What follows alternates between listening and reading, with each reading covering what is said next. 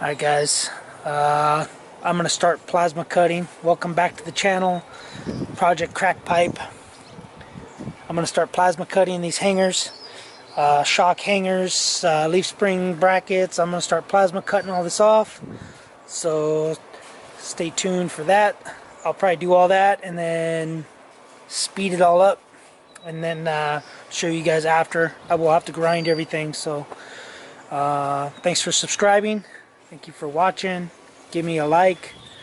And thank you guys. So I'm going to start plasma cutting.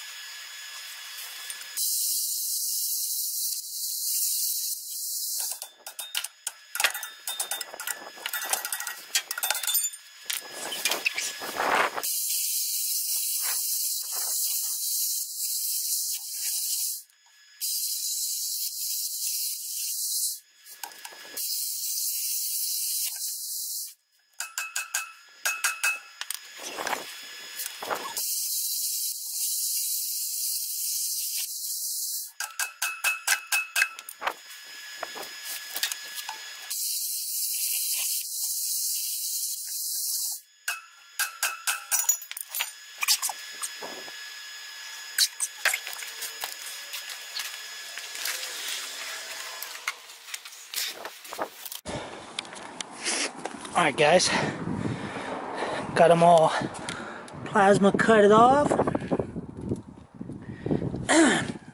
Dug through a little bit in the axle right there. but if I remember right, I think these tubes are like 3 8 inch thick. So, and then gouged it just a little bit right there. So I'm gonna get a respirator on and get a grinder and I'm gonna start grinding all this junk down. And then uh, I don't know thinking on gouging this but I might have to get a grinder and grind all this side. So um yeah let me do that real quick. Let me get the grinder out. I'm gonna get a corded grinder out. I'm not gonna mess with changing batteries every five minutes. So, um, yeah, let me uh, do that. Oh, by the way, wear safety glasses. These are shade fives. So, anyway, all right, I will, uh, let me get the grinder and everything set up and I'll get you guys set back up out there.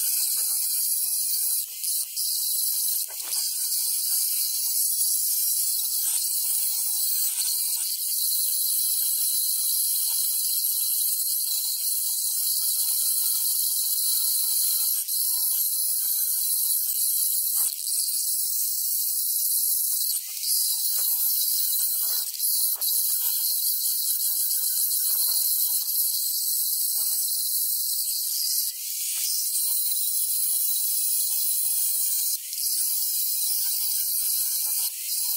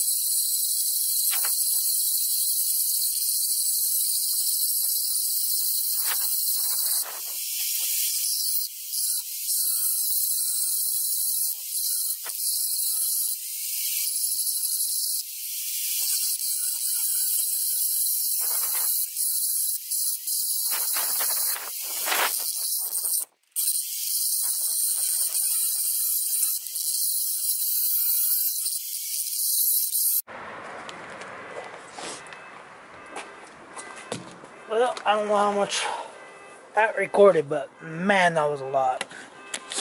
Oh, jeez. Sure, I'm glad I'm wearing a respirator.